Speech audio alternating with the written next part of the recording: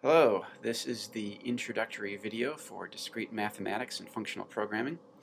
I am Thomas VanDrunen, and these videos are supplemental material for the textbook, DMFP as I call it, and I am making them available for two uses. First, I hope that instructors in, uh, in courses following the book will find uh, that having students watch these tutorial videos outside of class will allow them to use class time more effectively. Uh, the, this way, new concepts and definitions can be introduced by video, and class time can be used for active learning, drills, practice problems, group work, and the like. Second, in making these videos, uh, I have in mind any students who are studying these topics on their own, outside of an academic course, and so would benefit from seeing the main ideas demonstrated in video in lieu of attending a lecture. I uh, won't be covering any material not found in the book. In fact, the presentation will be pretty similar. But plenty of people find watching and hearing to be an effective way to learn alongside of reading. And if that's your case, then these videos are for you. In this video, I will explain what the book or course is about in the broadest terms. Uh, anyone who knows much about undergraduate computer science curriculum knows that a discrete math course plays a crucial role. But if you're just starting out learning some computer science, then the terms discrete math and functional programming probably sound pretty foreign. So just to be clear, we are not suggesting that other math is indiscrete, uh, nor that other programming is dysfunctional. That's not what those words mean. Uh, discrete mathematics is an umbrella category that um, is used to capture a range of mathematical topics, including set theory, symbolic logic, number theory, graph theory, algorithms and their analysis, matrices, sequences, recurrence relations, combinatorics, automata theory, just to name a few. And if you don't know what those things are, don't worry. You're not supposed to know what they are before this course. You're supposed to know what they are. You're supposed to know about them after this course, or at least some of them. Uh, this book isn't exhaustive, and uh, any discrete math course needs to pick and choose among the many topics that fall under the discrete math category. But what ties all these things together into the category discrete math, well, a blunt way to put it is that all of them aren't calculus.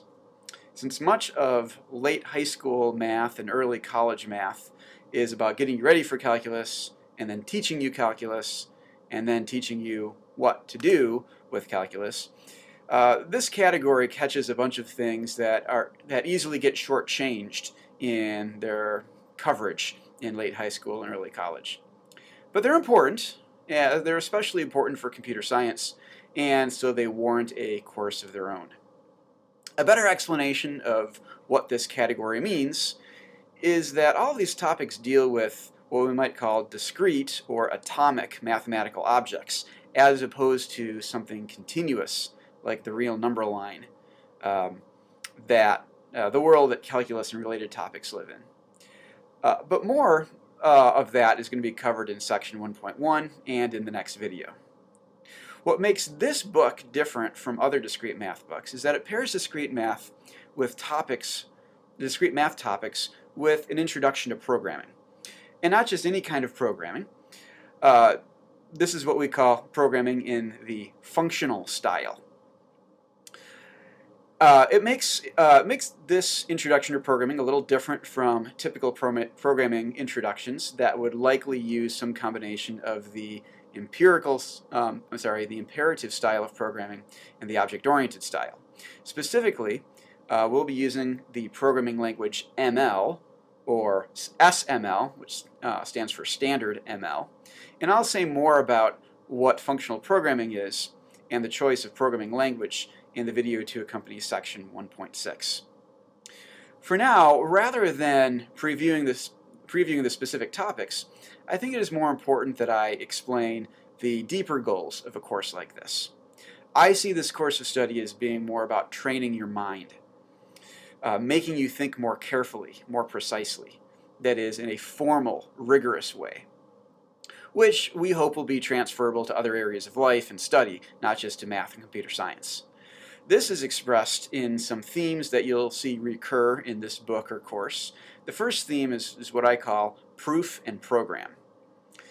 Uh, after the first three chapters of this book, which I consider to be mainly pre preliminary exercises for the real meat of it that, that we start uh, around chapter 4, um, your work in this course will be divided into, first of all, writing proofs, and second, writing computer programs. And it's my ambition uh, to help you see how these two endeavors are complementary to each other. They really are two sides of the same task. Being able to write a good proof should make you a better programmer, and being able to write a good program should make you a better mathematician. I happen to think that both these will help you write a better essay as well, but following up that way is going to be up to you. Second, this course aims to teach you how to think recursively.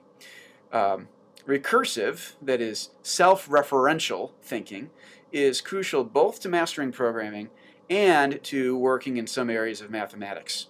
It also has a reputation of being one of the hardest mental jumps for students um, to make in their first few semesters of programming. But my experience in teaching both a course like this and in teaching conventional programming courses has uh, showed me that the functional style of programming and the background of discrete mathematics makes recursion uh, much more accessible to the beginning student. Uh, next, this course will force you to grapple with formal definitions. Understanding what words mean in mathematics and computer science is crucial for making any progress, so you'll see me come back to this many times. Formal definitions uh, are also going to serve as a proxy for formal, rigorous thinking in general that this course is trying to, um, uh, uh, to prepare you for and teach you to do. Finally, we'll find that many times uh, in this course, what we do in programming and in proving can be summarized under the terms analysis and synthesis. Analysis is taking things apart. Synthesis is putting things together. When you write a proof, uh, you will first need to take apart the information uh, given in the proposition's hypothesis, and then assemble the fact asserted in its conclusion using what you've discovered in the analysis phase. What we do in programming is perfectly analogous to that. We break down the data given in the parameters, and then we assemble the result from them. This completes my introductory comments uh, to the book and any course that would accompany it. So please join me in the next video where I introduce the concept of a set and use that as a jumping off point from continuous mathematics that you would have learned in high school um, to the discrete mathematics we'll be doing in this course.